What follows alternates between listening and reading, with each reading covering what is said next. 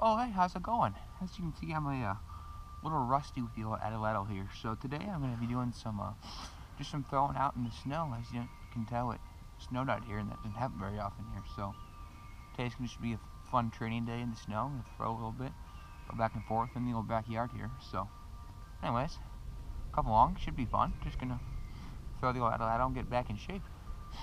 Now, if you guys have been following along for a while, you'd know that um, I hunted with this all last season deer season, I had really close encounters. I'm talking like literally inches.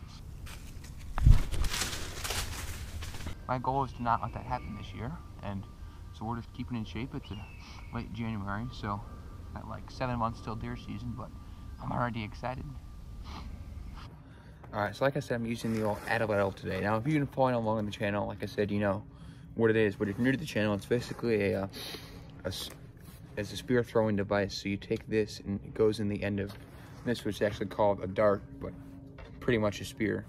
And then you set it here and basically use this to propel the dart forward and to your target. Now, like I said, I've deer hunted with this all season, and had some really close encounters. So next year we're gonna get them, but we're just, and it's, it's a ton of fun too. You should try it if you haven't yet, but and we're just gonna be throwing out here today, so it should be a fun day, and uh, yeah, see where the day takes us.